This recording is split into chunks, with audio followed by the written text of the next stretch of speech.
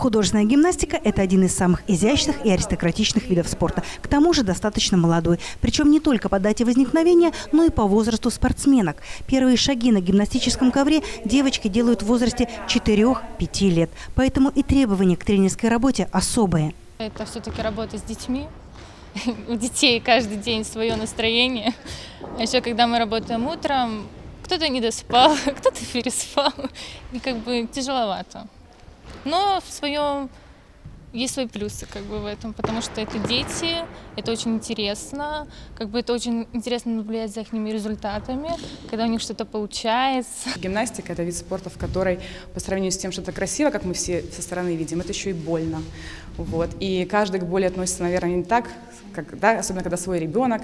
Это очень тяжело, но в любом случае э, тренер – это мало того, что он как мама этому ребенку, он еще и психолог. И каждому ребенку свой подход. В Брестской Дюшор «Динамо» отделение художественной гимнастики пользуется популярностью. Каждый год на тренерский просмотр сюда приходит не один десяток девочек, мечтающих стать Любовью Черкашиной, Алиной Кабаевой и Мелетиной Станютой. Наш вид спорта молодой, мы берем очень маленьких детей, и, как правило, к 10-11 годам начинает такая стадия наступать, что ребенку уже не хочется, потому что он устал, это очень тяжело.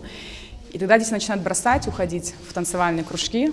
Конечно, мы своего рода готовим к танцам, я все время говорю детей. Жалко, обидно, потому что вся школа гимнастики, она дает всю подготовку полностью. И, конечно, от нас очень легко потом устроиться в другом виде спорта даже, даже бывает. И тэквондо потом идут уже растянутые дети от нас.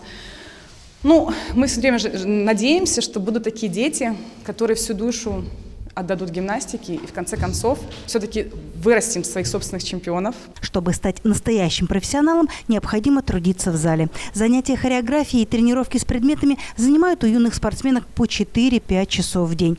Практически раз в два месяца гимнастки участвуют в соревнованиях. И задача тренера – всегда найти нужные слова для мотивации. Каждому ребенку нужен индивидуальный подход.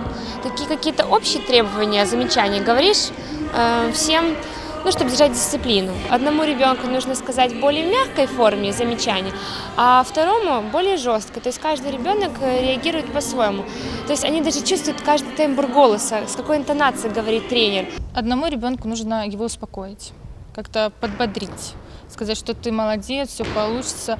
Другому ребенку, наоборот, нужно сказать, вот жестко так, чтобы он понял, да, что собрался еще, как бы, тут тоже идет как бы индивидуальная работа с ребенком. В отделении художественной гимнастики работает пять тренеров, и каждый из них пришел в эту профессию по зову сердца. Здесь куются не только победы, здесь растят чемпионов. Девочки приходят с 5-6 лет, им уже надо сразу же выкладываться, потому что если они начнут работать сразу же, будущего у них не будет, потому что мы заканчиваем очень рано свою карьеру.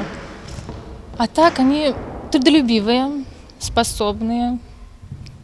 Ну, я надеюсь, что наши будущие звездочки. Попасть в национальную сборную, отобраться на чемпионат или Олимпийские игры – эти мечты юных гимнасток обретают реальные черты через талант и трудолюбие, а их у воспитанниц Динамовской школы не занимать. Ирина Альшова, Эдуард Бакунович, Дмитрий Лазарчук, телекомпания Бук ТВ.